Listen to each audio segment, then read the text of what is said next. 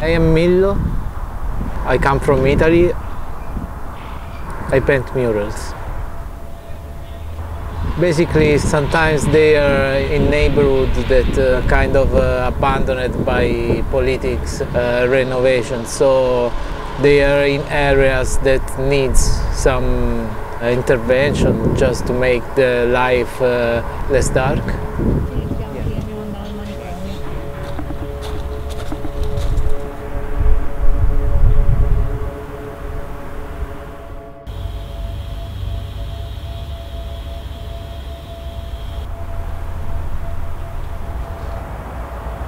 This works is about uh, rivoluzione, that in Italy means uh, revolution, but also is the time that uh, the planet needs to make a complete circle around the main stars.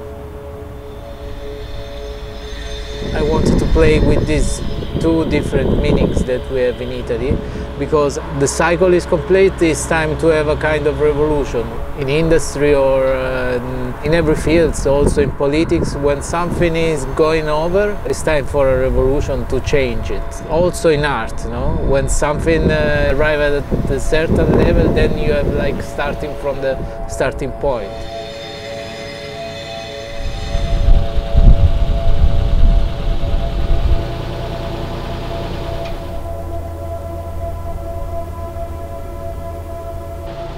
I see uh, the world around me, I try to filter it and that's what comes out. The inspiration doesn't come from proper artists.